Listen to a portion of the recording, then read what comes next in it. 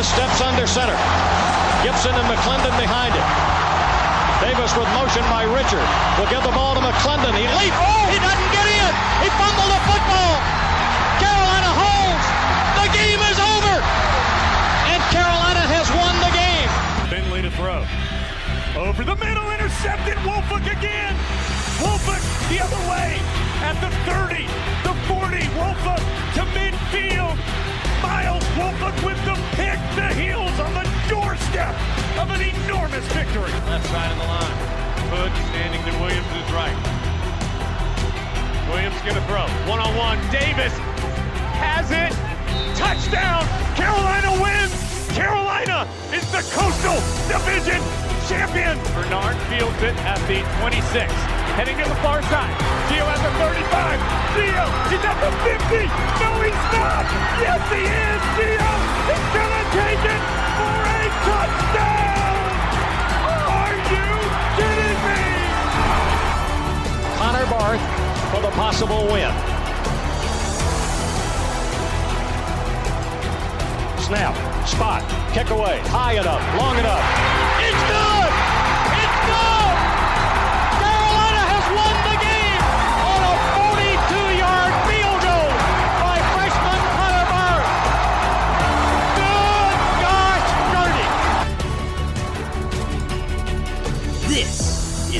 Heel Tough Blog Podcast.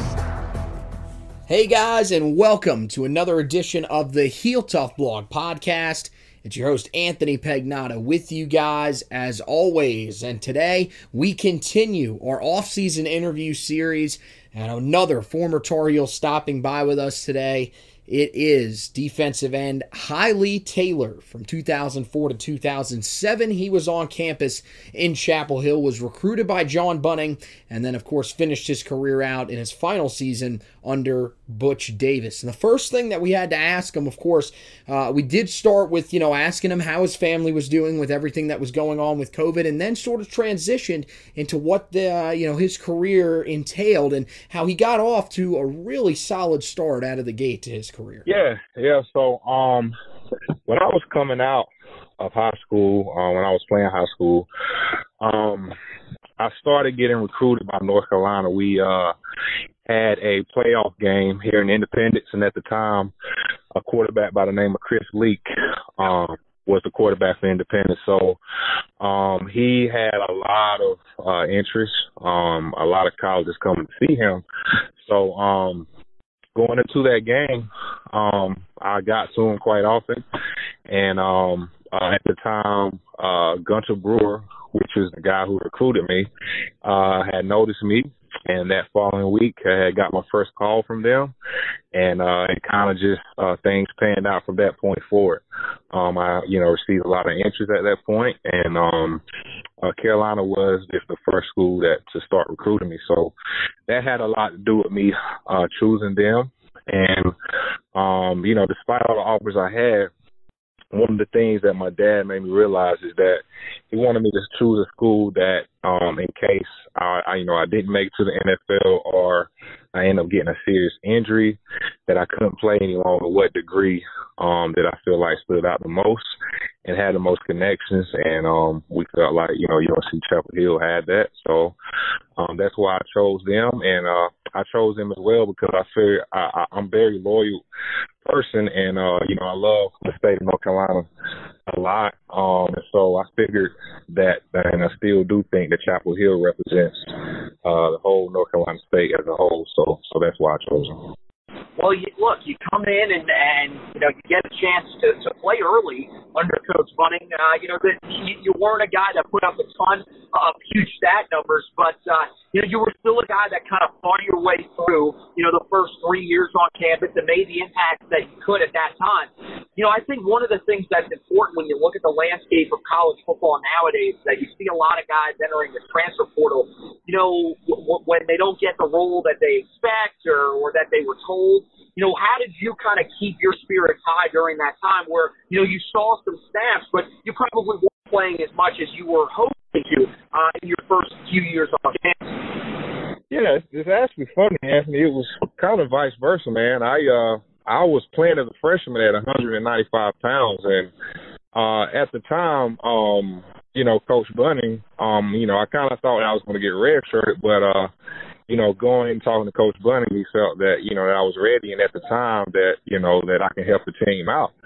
So, um, despite missing five gra- uh, five games my true freshman year, um, you know, I still hold the true freshman stat record there at North Carolina. Um, it's a record that goes under the radar, but it's one that uh, you know, it says it says a lot and kind of my mentality the whole time at Carolina, man, is just that uh, I just I just love to compete, and so uh, I kept my spirits high because you know, I, I, I always seen us, you know, all the work that we put in with Coach Connors at the time in the weight room and all the work that we put in. I really, really felt like that uh we, we, we had a chance to win a championship despite, you know, the the outside and naysayers and uh, you know, despite how it looked from the outside looking in, I really, really truly believe that we had what it what it took to get there and uh fortunately you know, during my time, we wasn't we, was, we weren't able to do that, but uh, I can honestly say say my last year under Coach Davis, uh, we have we we did we was very instrumental in setting that foundation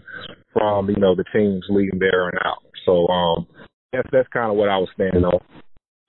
Yeah, you're right, Joe. That that record does fly under the radar. I actually uh, looked at the bio that they have for you online right now and just saw it. I'm, I, I overlooked that. That's my bad on that one. That's no, no, it's all good. Uh, it's all good. Well, I think we're all hoping that maybe one of these guys coming in, Keeshawn Silver, Jahvaree Ritzie, a couple of guys down the line, may be able to eventually break that at some point. As but uh, it's definitely one of those records that, uh, yeah, probably a lot of people don't know about. But yeah, I mean, uh, that that was just a great start. But as you mentioned you know, you then move on to Coach Davis in your senior year. And, you know, the first thing I, I wanted to ask you, and I've asked a couple of guys this question that kind of went through uh, that same time period as well. You know, what was the biggest difference going from Coach Bunting to Coach Davis, the guy that, you know, had coached in the NFL, had coached and had success at Miami? What, what was the thing that you noticed almost immediately that was different about his coaching style? Um, well, well, Coach Coach Button did a, a very, very great job. I, I would say during his years, it's probably the, the most uh, mentally tough I have been in my life because we, you know, we went through a lot at that time.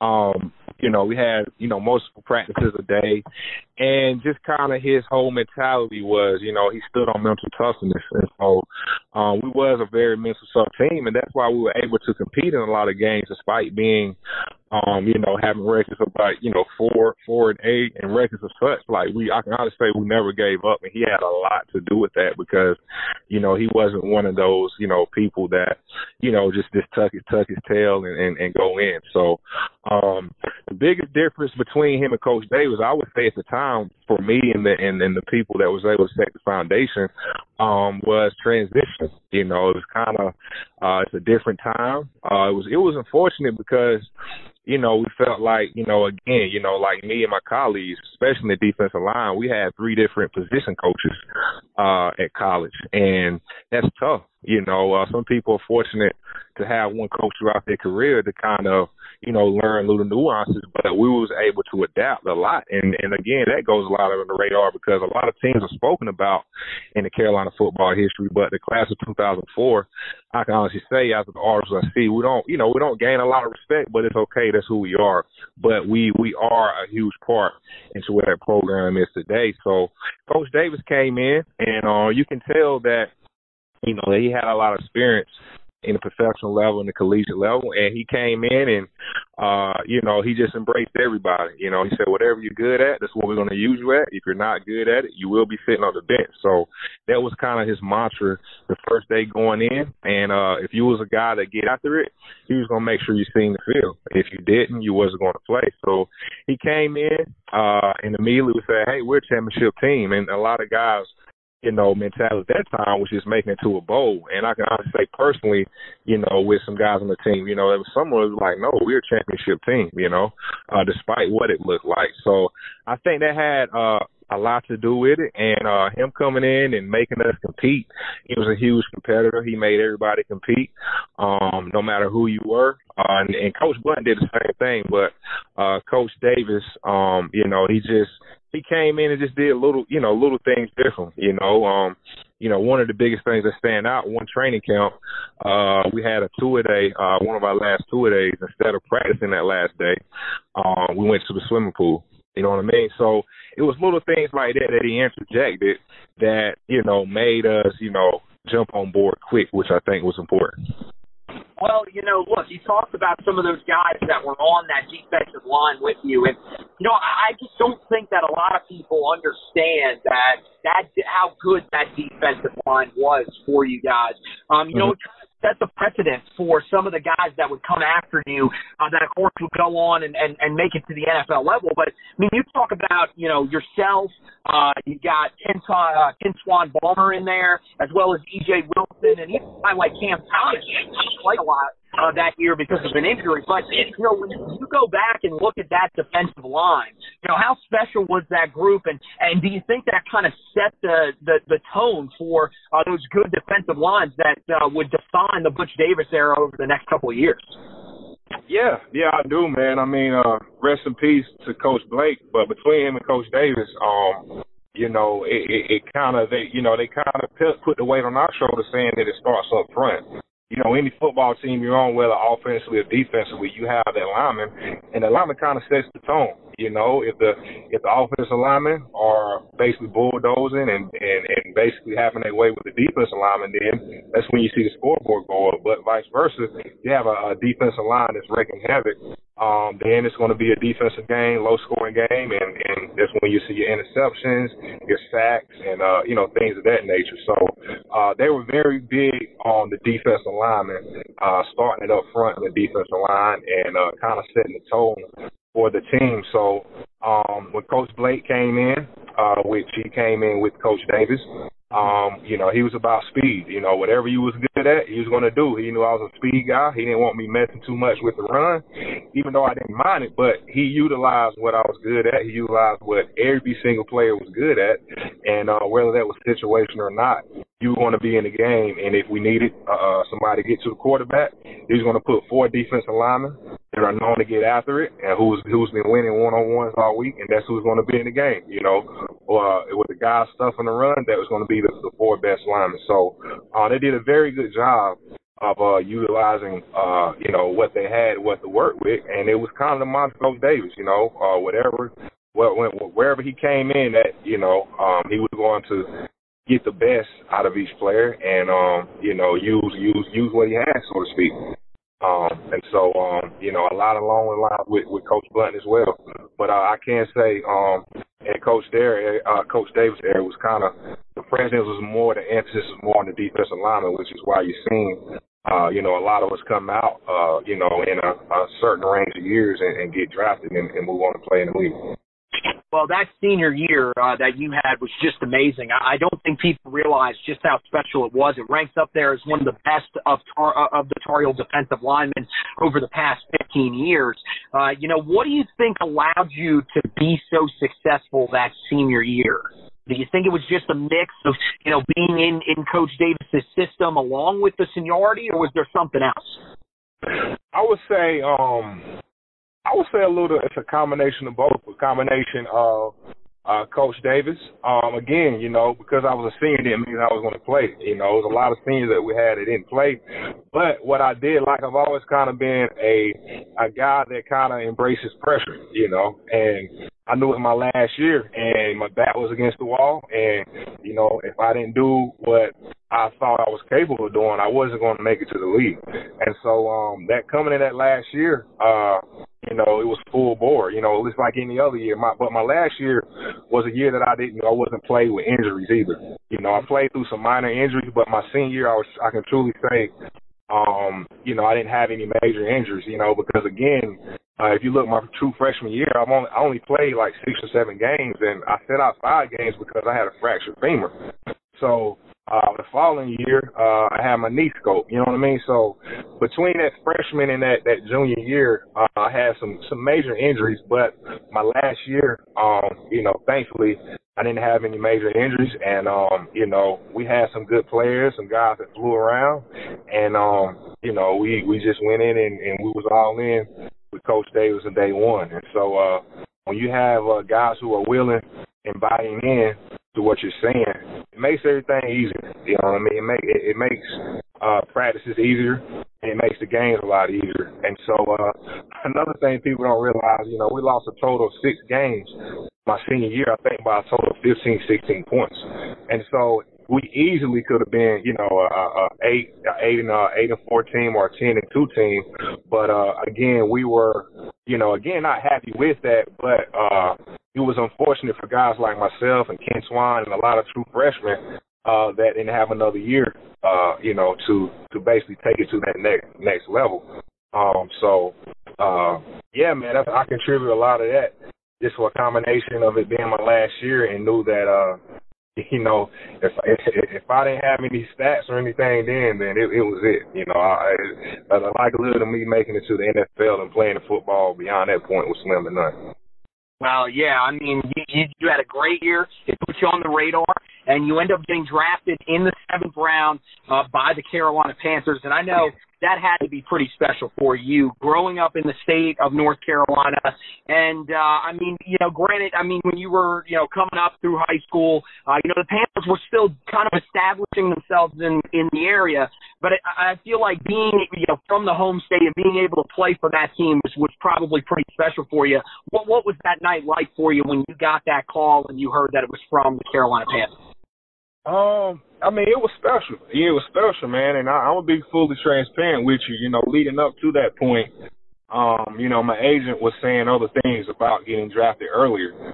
So it was a combination of being, you know, a little upset about seeing people go before me that I felt like, you know, that I was better and had a better, you know, career then. And then it was a combination of like, you know what, well, everything happens for a reason. You know, now not only am I playing high school and college ball here, now I get to represent the state that I love with all my heart, uh, North Carolina by playing for the Panthers. So it was super special, man. It was a special moment.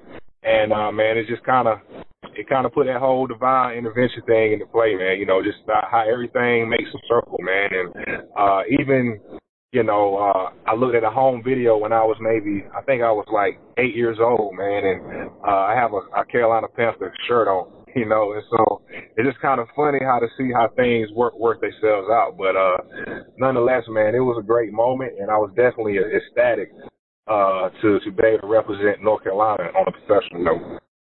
Well, you know, then you go up to Canada uh, in 2013 after bouncing around to a couple of other spots uh, in the NFL, and you end up landing with the Saskatchewan Roughriders, and you get on what ends up being an extremely special team that wins the 101st Grey Cup. And you know, first of all, what was that experience like for you? And, and second, you know, there was a guy on that team that a lot of Carolina fans remember, and that was one of the leaders of that team, and Darian Durant. Did you have a close relationship with him? And if you did, how special was that to be able to share, uh, you know, a championship with a former Carolina guy? Yeah, man. First, Saskatchewan was a uh, it was a great situation, uh, very good situation. Uh, Saskatchewan is kind of how the Green Bay Packers is viewed in the league. It's a publicly owned team, and uh, they kind of use their weather and their stadium to their advantage. And so going up there, man, uh, you can just tell, you know, first getting there, man, we had a lot of good talent people that uh you know are falling in college, you know, that was coming up, and uh you can just tell that that particular team was compiled to win the championship. And so, um, you know, we went in that year. Um, the backs was again against our walls because pre the previous two years, the Grey Cup was held at the um was held at the stadiums that the team won. You know, so this year the Grey Cup was supposed to be held at our stadium. So that whole year it was kind of this pressure on us where we're going to do the same thing that the previous two teams did, and so we did. Uh, it was a special game. I mean, you had people named Tom Hanks there. I mean, you had a lot of celebrities there at that game, and uh, that was kind of like, wow, you know what I mean? Like this is Saskatchewan is is is, is basically the uh, the face in Canada in terms of CFL football. So that was special, and of course, you know, having Darian Durant there as well, uh, I was able to play with him my freshman year in college, and mm-hmm. uh, seeing him there as well, I mean, it, it made a decision, uh, you know, a lot easier to go up there and play. So, uh, of course, when we immediately seen each other, we embraced each other, and uh, throughout the whole year, you know, Darian being Darian, he's a competitor. Uh, in practice, I get to him, and he say, "Man, nah, I would have slipped that." And so it was kind of ongoing joke uh, between us. You know, I said, man, you ain't changed from uh, from college because you say the same thing. You know, once you tag him, like, nah, I would have got out of that. And so uh, it was it was good, man. It was a breath of fresh air. And um, yeah, Darian is uh, he's always been a competitor. Uh, I think he's a sweeper too for the program. Um, he's probably one of the better quarterbacks I think the program has ever seen, uh, and one of the toughest. And so uh, I think he was able just to show, um, you know, his capable his capabilities of playing in CFL and be able to compile meaning great coach as he has. Well, after that, you know, it, it looks like you've gotten yourself into uh, a couple of different business ventures. You know, uh, tell us a little bit about some of these uh, business areas that you've gotten into, and uh, you know what you've been doing since uh, you, you've uh, put your football career uh, behind you. Yeah, so uh, I own a laundromat uh, right there in Mebane, not too far from Elon University. I, I purchased, me and my brother purchased that in 2013 um, before I went to Canada. Um, and then I uh, have a real estate business uh, where I buy distressed properties and renovate them. And then uh, recently uh, have an inspirational clothing line called Next Play Mentality, uh, which is basically about embracing life's transitions, whether good or bad. And so Next Play Mentality was basically coined after a term that is very well known in the athletic field and it basically means like you know move on from the next play. You know, like you don't have time to celebrate that play, or you don't have time to think about what you did wrong. You got 25 seconds uh, to have amnesia and get the new play and uh, and, make it a better play. So uh, I'm kind of bridging the gap between the athletic world and just everyday life because everybody can relate to ups and downs in life, right? And it's it's not about uh, you know, how you get through it, but it's about getting through it, right? And and realize, you know what, it's okay. You know, let's just move on. You know, uh, you know, whether it's death in the family, uh, job loss, or uh, rewarded a new job, or a baby. Like we all go through different transitions, but it's about embracing it and then moving on to the next. And so, um, yeah, I have a website and all that online, and uh, just here recently, uh, I'm, I'm in the process of trademarking it, so I kind of dialed down on on, on uh, you know bringing forth products, but uh, that's on the up and up. So here's going to be a lot more products coming out for it. Yeah, keep an eye on that. It's uh, it is www.nextplaymentality.com. Make sure you guys go and check that out. Uh, yeah, great stuff, Hilee. I really appreciate you stopping by with us, man. Uh, giving us a little bit of time to talk about uh, your career uh, here, uh, your career with the Carolina Panthers, and up in Canada, man. Great stuff. Uh, thanks for stopping by with us, and uh, we'll definitely be keeping an eye on everything that you got going on, especially next play mentality, man. I may have to uh, go on there and caught me some of that apparel as well. Uh, definitely oh. around for sure. Yeah, for yeah, for sure, Anthony. I appreciate it, man, and uh, go Heels. All right, man. Yeah, thank you so much. We'll uh, hopefully talk to you down the line, man. Best of luck going forward, and uh, yeah, well, hopefully uh, we'll we'll get to see an exciting season this year uh, with uh, you know a couple other guys that uh, could be once in a generation players that come through Carolina. For sure, for sure, they prime for it. All right, man. Take care. Thank you.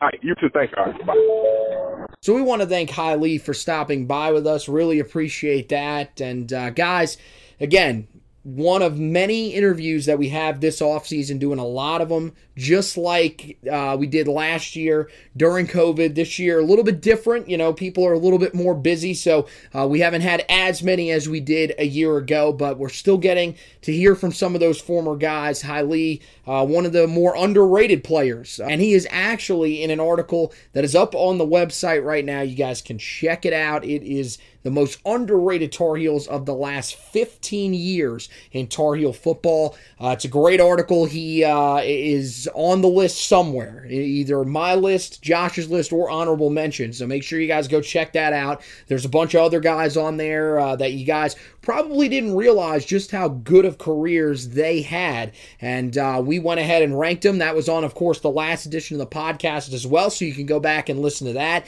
Uh, that was fun because, uh, you know, it was a top five list, but we guessed each other's. We t- tried to take a guess at each other because, of course, me and Josh, uh, you know, we've been best friends since sixth grade. Uh, pretty much grew up watching Tar Heel football together and uh, ended up starting the podcast uh, a few years ago. So that's a really interesting addition of the podcast. If you want to go back and check that out, we've got the article on the website, which gives you a little bit more in depth of a description as to why we picked the guys that we did on our list and also points out some of the honorable mention guys that me and him went back and forth on afterwards, after the podcast was over, we were talking about it a little bit. I figured I'd throw some of those other names in there that we were conversating about off the air that you guys didn't get to hear. So uh, make sure you check that out on the website. Of course, we have recruiting updates for you as well. Uh, you know, we got the stock report, uh, you know, kind of just reacting to some of the public news that's out there when it comes to some of these recruits. So you guys can check that out. Uh, there's some really good stuff on there.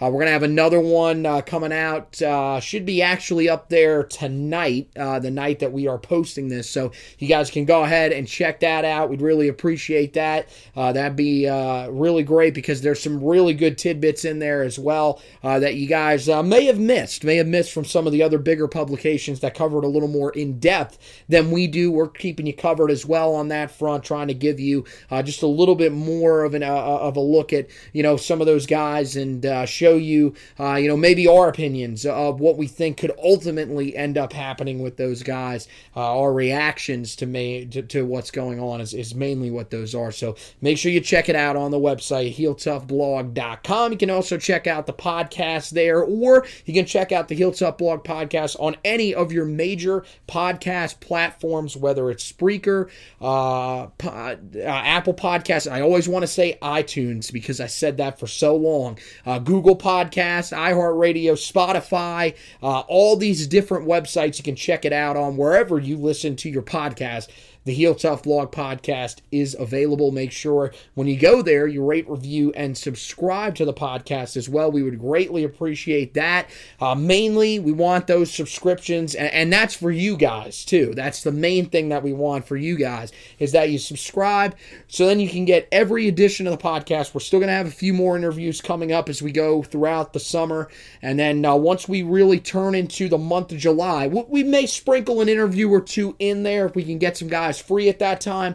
But that is when we're going to turn our full attention to the upcoming 2021 season of Tar Heel football, one that is expected to carry some of the biggest expectations in recent years. We'll have you guys ready. We're going to do uh, position previews this year on the podcast, as well as our normal ones that we do on the website. We're going to discuss each position on the podcast. Normally, we just do the sides of the ball, so we don't really get into some of the nitty gritty stuff that we're going to get into this year because we have a little bit more time time this year. We have, you know, a studio that's going to have scheduled days. And you know what that means as well? That means the video podcast is coming back, that we have the studio back. So make sure that you guys are keeping an eye out for that. That is going to be coming here in the next a uh, couple of weeks. We'll be back in the studio. We'll be back on camera as well. So uh, that'll be great for you guys. We'll have the graphics up on the screen like we did last year. Uh, it, it is going to be very exciting to be able to get back to doing some of that stuff for you. The best place that you can check all of that stuff out is the place where it's all posted at. It's on Facebook. Make sure you go there, like and follow the Facebook page. Uh, you can do that at the top of the page whenever you search it and click on the page. Just search Heel Tough Blog on uh, Facebook in the search bar, and that'll bring it up for you. And then on Twitter, uh, if you want to follow the Twitter feed, we encourage that as well at Heel Tough Blog on Twitter. Uh, but when it comes to those video podcasts, whenever we do post the links, which we will, on the page for uh, those those live podcasts that we're going to do on camera. It is going to be on Facebook, so you guys will have to click on the Facebook link to go over and check those out. So uh, just make sure that you're uh, you're liking that Facebook page. That's the easiest way to do it. If you want to follow us personally on social media, it's me at HTB Anthony. Of course, Josh, who you know is our uh, our co-host here on the Heel Tough blog podcast, also does some of the trench report stuff during the season on the website on the football side of things and handles everything uh, in terms of the basketball side of things when it comes to the Four Corners podcast and a lot of the in season stuff as well. You can follow him at HTB Josh on Twitter. And then, of course, for the guy that'll be doing the recruiting podcast, we're going to be having one of those coming up here pretty soon. It is Zach Hubbard on social media at Hack HackZubbard2 to follow him. So that wraps it up for this edition of the podcast. Want to thank Hilee Taylor for stopping by. Want to thank you guys for listening. And as always, go Tar Heels.